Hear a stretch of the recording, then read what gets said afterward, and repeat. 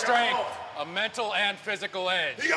Jiu-jitsu is a sport that has plenty of benefits both in and out of the gym and for all ages. Black Bear fans will be seeing double this season at Alfond Arena with the Welke twins. At Pucker Brush Primitive Gathering, learning bow and arrow is just the beginning. Fighting out of Young's MMA via Orrington, Maine, Glory the Fury Watson.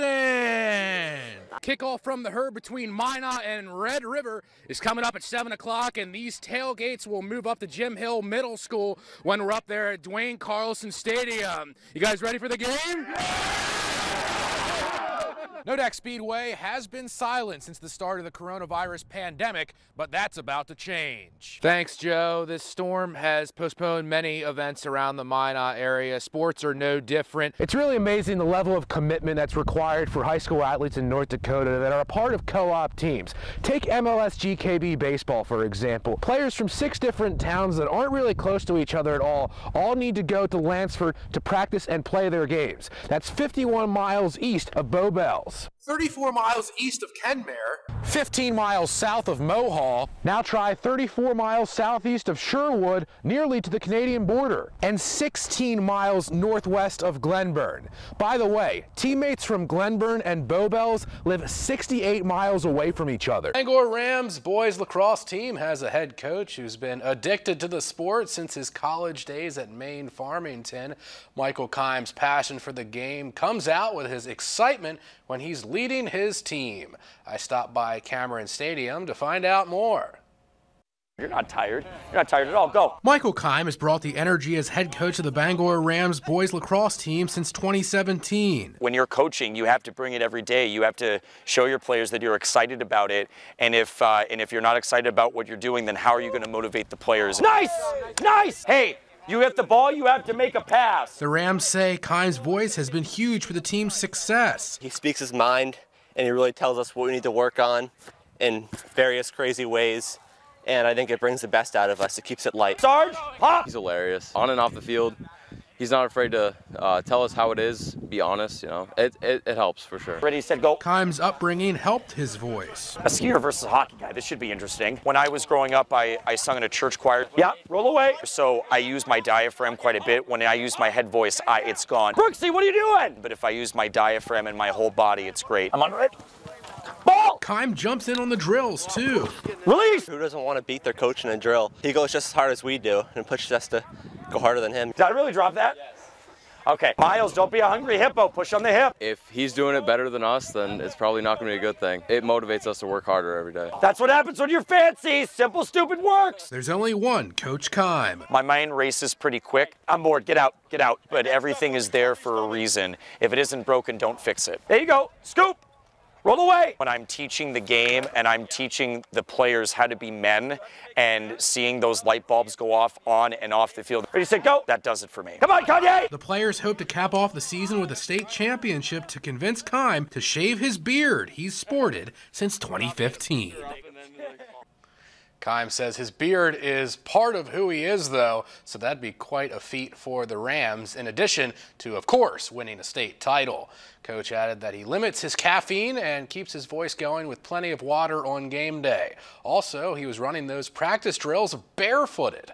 What a fun voice to follow for the Bangor players. The Great Maine Lumberjack Show is back for its 27th year in Trenton. I stopped by to meet Timber Tina Scheer and the Lumberjacks from the show to learn why outdoor sports and Maine's timber history matter to them. Timber Tina Scheer's Great Maine Lumberjack Show brings entertainment and a history lesson to Trenton.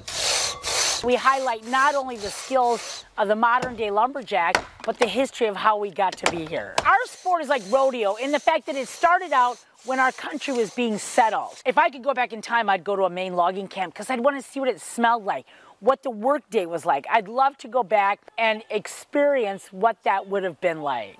Ellsworth's Jordan Camber comes from a family of six generations of timber workers. He was hooked quickly and joined the show. I asked, I said, can I climb the poles? She says, you have to climb the poles. And she got me a set of gaffs and the rope and said, let's see what you got. The daily rain or shine summer show keeps the crew guessing. Every night, you know, it, it's something new. It can be something in the crowd or something that happens on stage, you know, and we can just run with it. Um, you know, it's, it's a real competition atmosphere and we love to just, you know, get after each other and try to beat each other, you know. Showing a snapshot back in time to American settlers. Come enjoy the Great Maine Lumberjack Show. It's a great time. Yo ho! Scheer grew up with her family's Wisconsin lumberjack show. She said her camping trip through Quebec, Maine, and Niagara Falls when she was 12 years old sold her on bringing a lumberjack show to the Pine Tree State, along with Maine's logging history, the Paul Bunyan story, and Acadia tourism. Check out MaineLumberjack.com for more information on the show. NFL tight end and current Maine assistant sports performance coach is showing high school players how to train for their upcoming seasons at his gym. I checked out the spot at 10 Miller Street in Bangor to learn more about how to build the tank. Northern Maine Strength is teaching a never give up mentality. Truly, it's that I you got to push yourself mindset. No matter what, you got to keep on going. And if you fail, don't. Simple as that. You just got to keep on pushing. You're exhausted. You've been playing basically all game long, and you just you got to keep on going. The gym's mission statement is build the tank. We're building something that it's not going to break down. It's going to have great longevity. It's going to be able to go through anything. So when the kids hear the word, you know, the, the phrase "build the tank," that's I hope that they remember those things.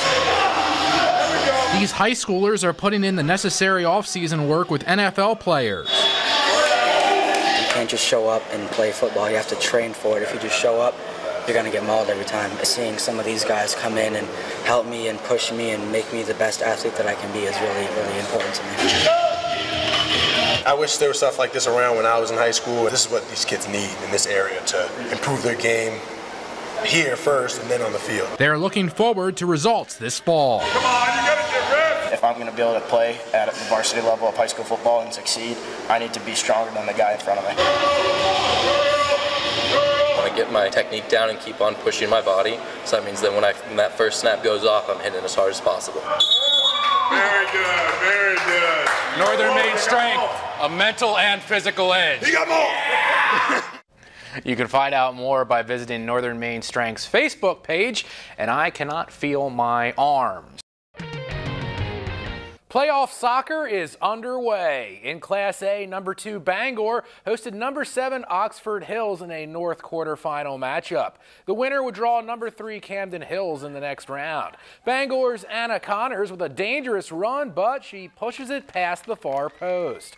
Rams in again. Lily Chandler cuts against the grain, but Sage Winslow meets her there and clears the ball away. Bangor free kick on the edge of the box. Emmy Streams takes a low shot, but Madeline Herrick is all over it.